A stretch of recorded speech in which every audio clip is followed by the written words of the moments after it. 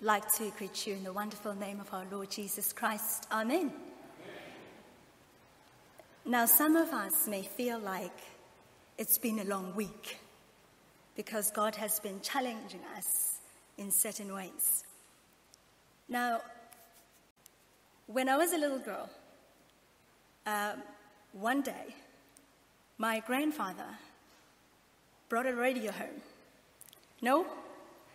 One of those radios that you carry around, you know, back in the day, you know.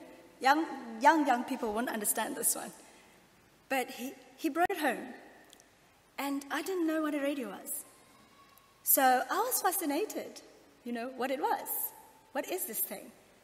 And I was hearing voices coming out of this thing.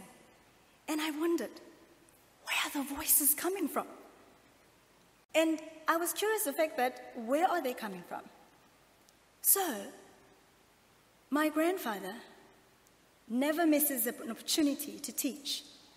And I believe that he brought the radio home just for that moment that I would ask him, What is this thing? So when that happened, I asked him, What is this? And where are the people coming from? This is what he said to me. And I was all ears.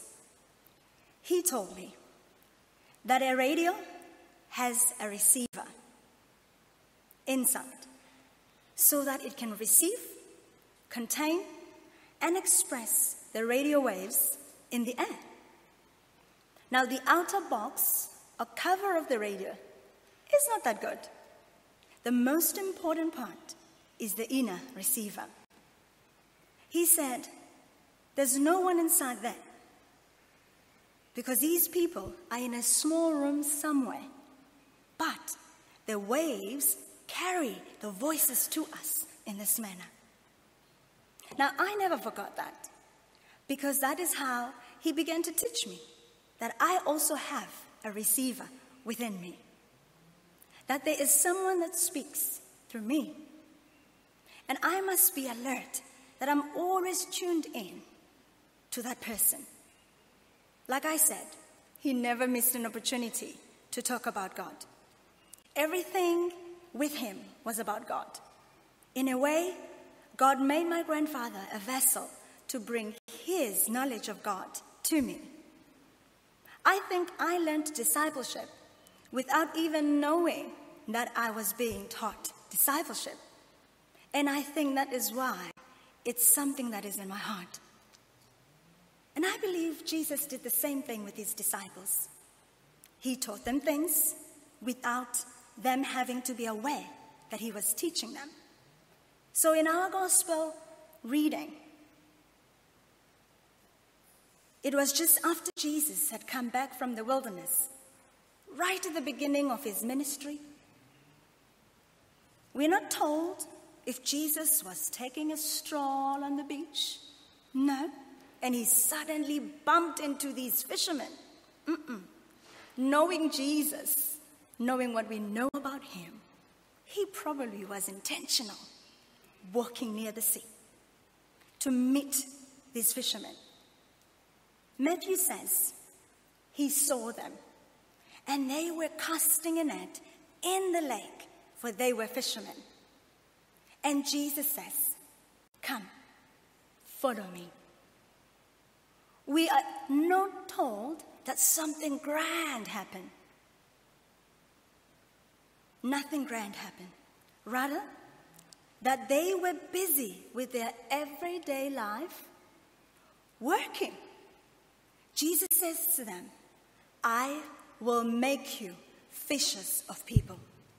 Just imagine that you are busy in your garden and someone comes up and says, Come, follow me.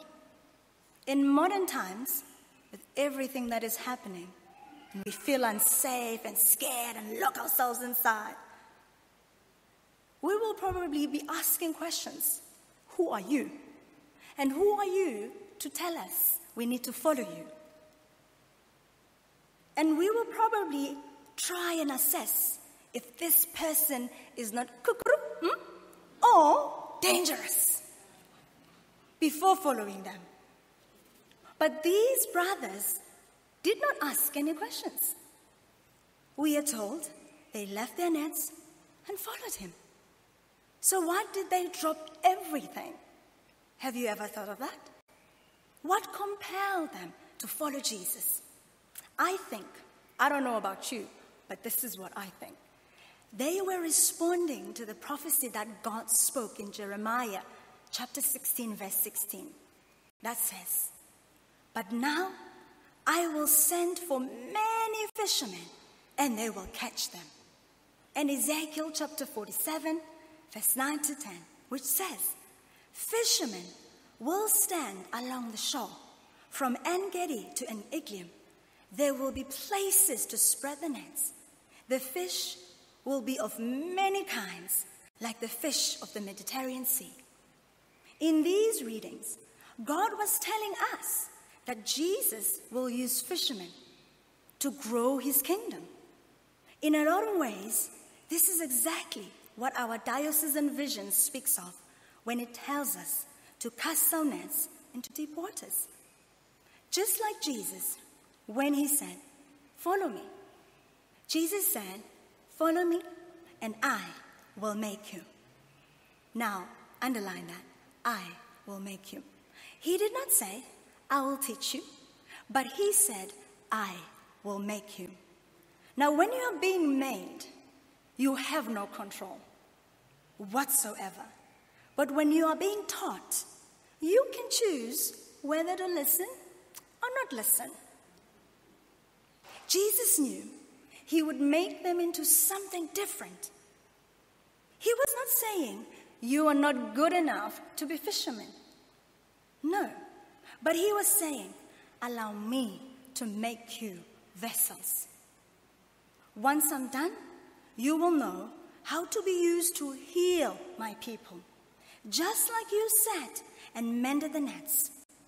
The patience it took for you to wait for the catch of the day will not be compared to the patience you will have to have.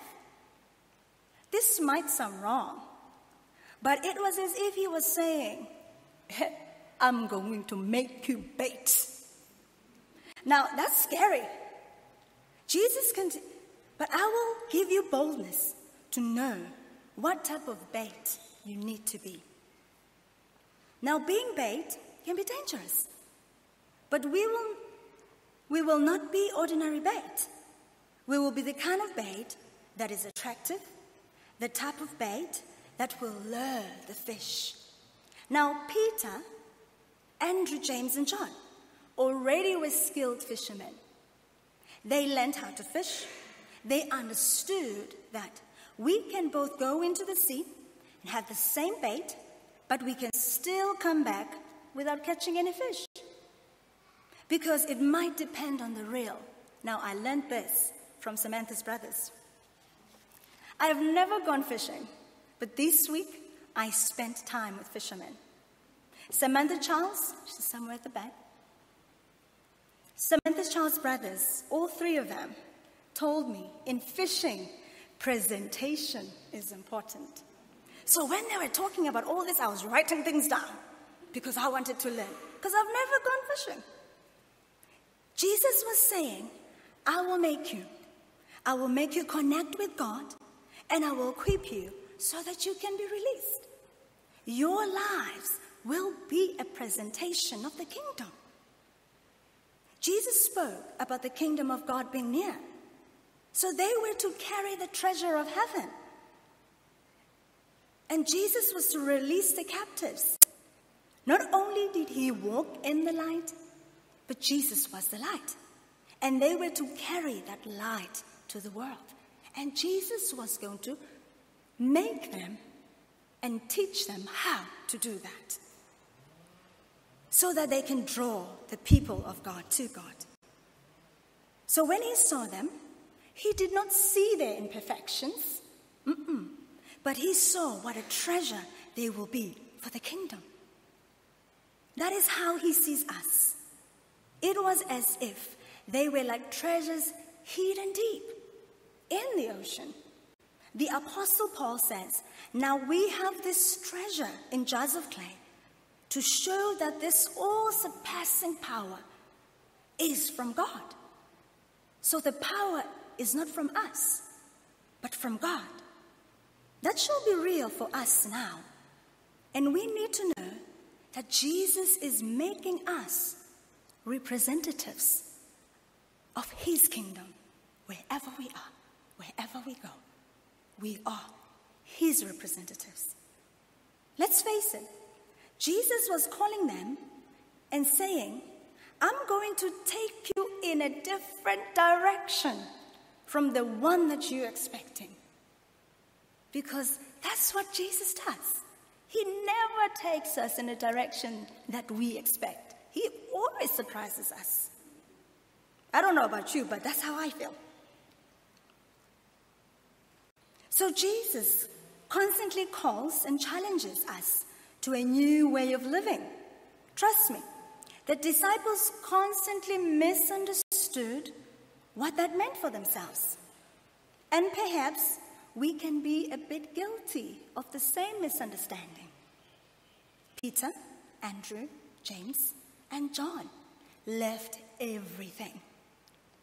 With their misunderstandings in life, with all the messes they had in their lives, they still dared to follow Jesus. They were not perfect, but they followed Jesus. I do not know what they thought, but all I know is that they were about to step into the light. Jesus called them for the preparation of what God was about to do in their lives. I always believe God never puts us in the light too soon. Because He knows that if He does that, it will ruin the exposure.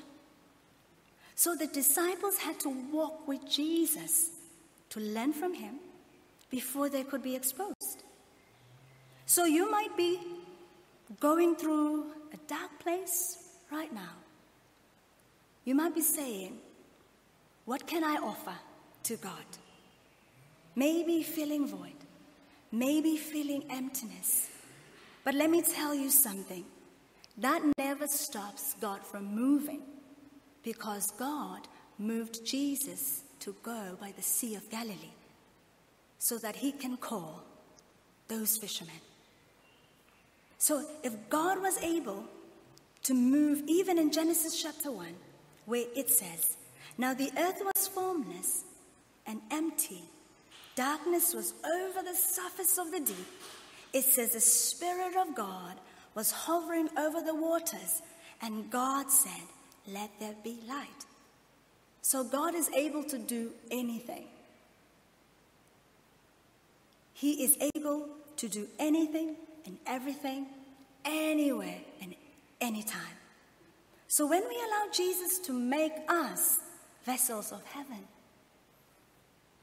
We will become vessels of honor, sanctified through Christ. We cannot just be vessels, but we need the sanctification from Jesus Christ. The, the, Apostle Paul says, We are sanctified so that we can be useful to God and be used by God to grow the kingdom. So Jesus prepares us all for good works. So are you ready? Are you prepared for the good works that the Lord wants to do? Are you ready to let the Holy Spirit impact, impact your life? Are you ready to let God use you? Now, last week, after Kevin had preached. And we were leaving the church. Dave was standing right where the cross is. There's a cross that I put there. And he was sharing something to me about what God shared with him when he was praying. I'm not going to tell you what it is. But as he was speaking, I didn't see Dave. I saw a white flag. I didn't see his face. I saw this white flag. As if God is saying, while He was speaking, what we need is to fully surrender ourselves to Him. But fully surrender to Him so that He can make us vessels. So that He can make us vessels of mercy, of love, of caring for one another. Just like the Apostle Paul is appealing with Corinth, there must be no division among you. So that's why I made this little flag. So that we can write, because there are a lot of things that sometimes hinder us into coming fully unto Christ. Or you may know someone that you just need to write in this flag. Because at the end of the service, when we come out, you are going to say, Lord, I just surrender myself fully to you. And there is a cross right at the back. And you are going to put this flag unto that cross. So remember, James and John left everything. But God is not asking you to leave everything. Well, some of us, He has. But He's just asking you to surrender. God wants us to be like that radio Kulu brought home. He wants us to receive and be his vessel and then give his signal out. So, how are you giving his signal out? Because that is important.